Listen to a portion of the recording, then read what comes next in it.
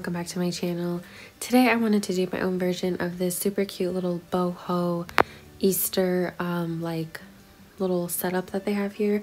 I found this photo on Pinterest. I couldn't find any of the links to buy the garland, the wall hanging um, like little disco ball thing, the peace sign with the Easter bunny ears like so I did try to purchase these items because I usually don't like to just do my own DIY version, but since I couldn't find any of the links, I decided to do my own DIY for you guys just in case you guys have also come across this really cute picture and wanted to make your own.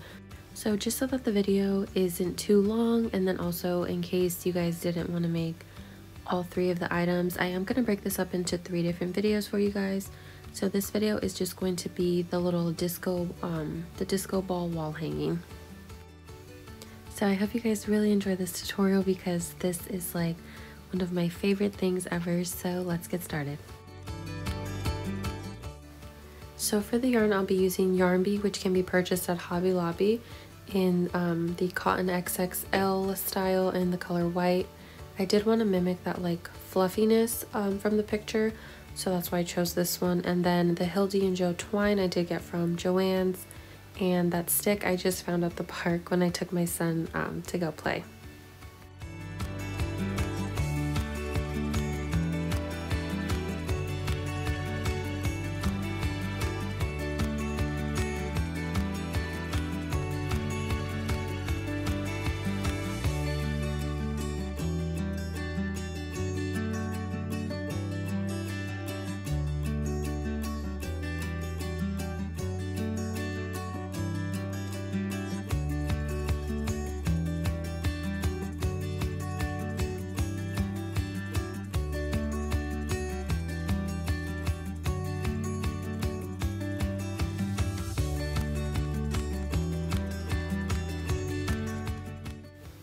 So this part you can just go ahead and ignore, you don't have to do it, um, but I do recommend it if you are like a crocheter or crafter who uses yarn often.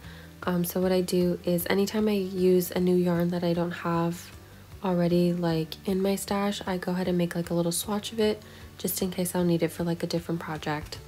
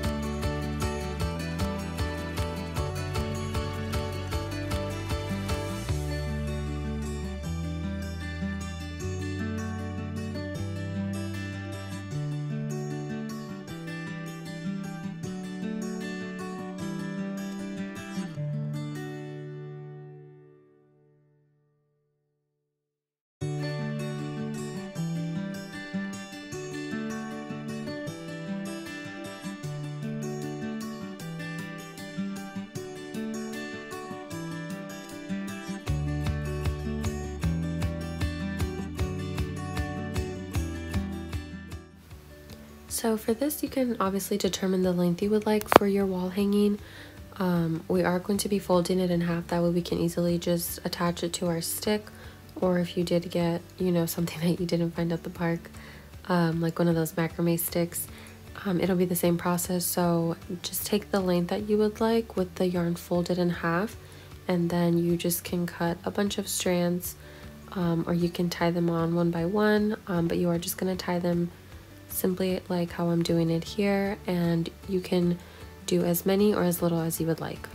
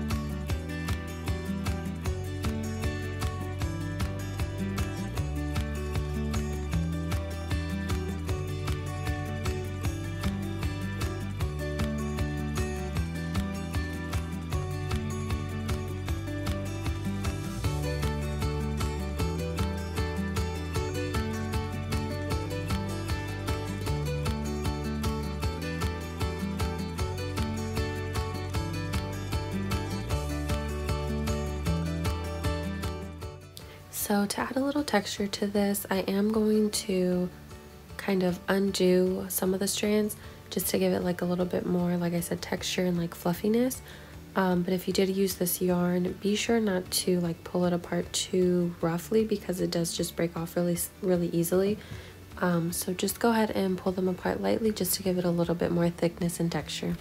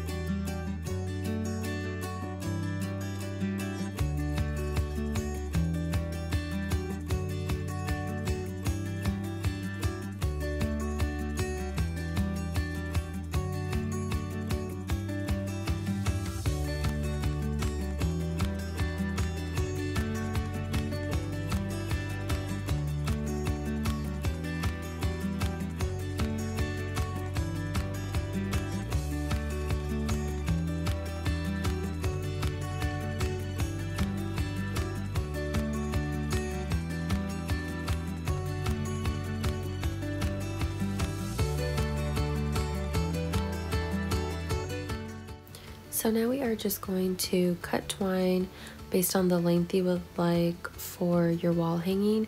Um, so if you don't want it to hang too low, um, you would cut a shorter piece of twine, or if you wanted it to hang a little like lower, then you would cut a longer piece. Um, so just go ahead and roughly measure and then cut your twine, and then all you're going to do is take one end and tie it to the stick, and then just simply tie the other side on the opposite side of the stick.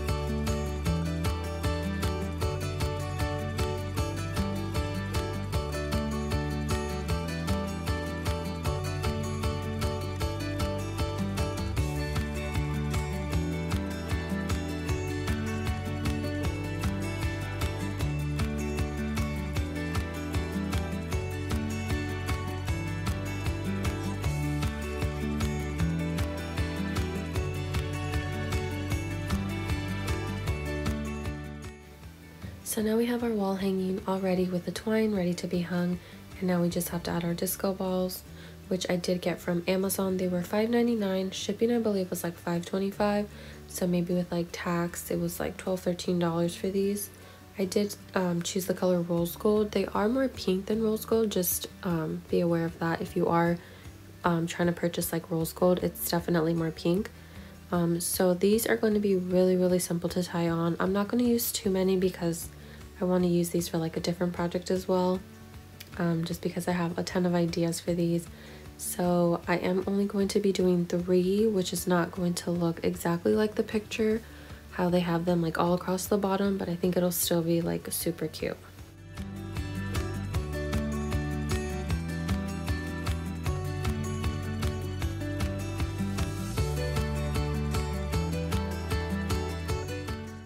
So I'm actually going to leave these silver strands on and just tie them on directly onto the yarn um, for the wall hanging. You can also go ahead and cut the silver strings if you wanted to kind of loop them through the disco balls directly. So you do have a couple options here. It's just based on your preference.